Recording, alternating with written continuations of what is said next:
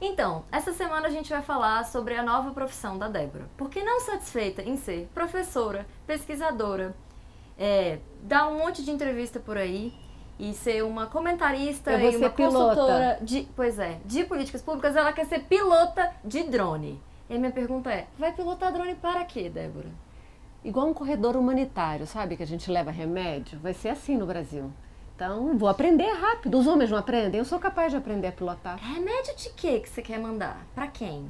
Remédio para fazer aborto. Mas você sabe que aborto é legal no Brasil, né? Você sabe que não pode, né? O aborto no Brasil é legal em algumas situações. Uma delas é estupro, risco de vida. Mas para começar aqui a conversa, minha advogada é você. Se eu tiver algum problema, quem vai me salvar é você. Mas vamos lá, vamos lá.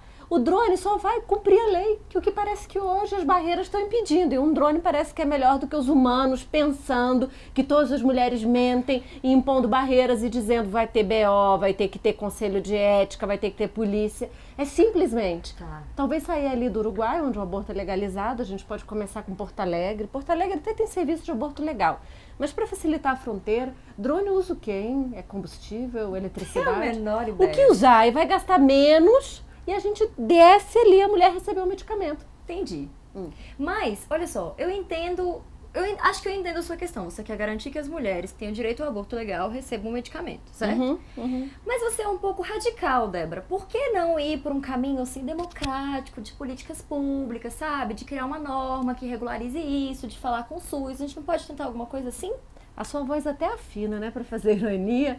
O fato é que nós já temos desde 1940, pelo Código Penal, o aborto que nós chamamos legal no Brasil. Ou seja, as mulheres em caso de estupro, risco de vida, quando é menor de 14 anos, ela pode ter acesso ao aborto previsto em lei. O que nós encontramos no estudo, que foi um censo de todos os serviços de aborto legal no Brasil, é que isso é uma fantasia. As mulheres enfrentam mais barreiras do que garantia de acesso. E barreiras que não estão previstas na política pública. Então, na verdade, os drones não são nada antidemocrático, é só uma garantia em um estado que eu diria de emergência.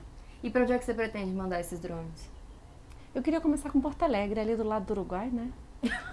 Então tá, então vamos esperar essa nova carreira.